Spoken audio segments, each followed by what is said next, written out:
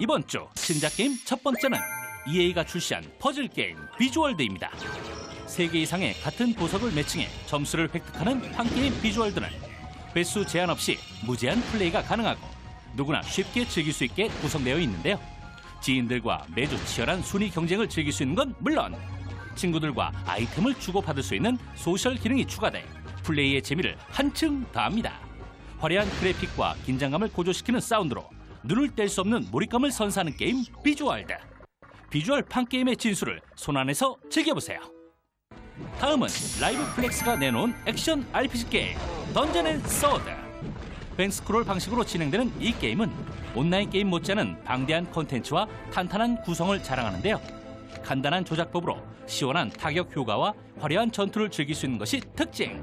또한 각종 전투와 퀘스트 수행을 통해 캐릭터를 성장시키고 사용자 간의 실시간 대전 플레이도 즐길 수 있습니다. 화려한 effect로 액션감을 한층 높인 Dungeon and Sword. 색다른 액션 RPG의 매력을 느껴보세요.